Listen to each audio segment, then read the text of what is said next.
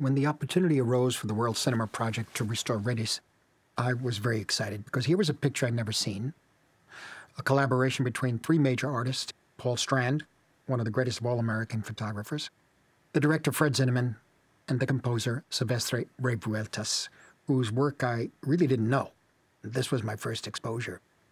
The picture resulted from an extremely particular set of circumstances.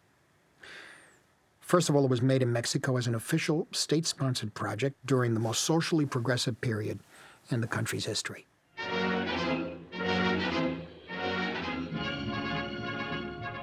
Now, Strand brought his camera eye and his fervent belief in the ideals of the revolution.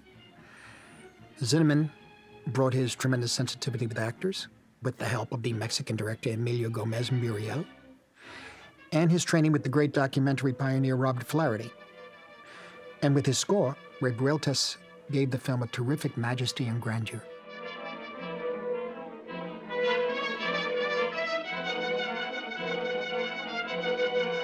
Now, these artists didn't always see eye to eye, but the final result was a very special film that actually foreshadows Italian neorealism, in particular Visconti's La Terra Trema.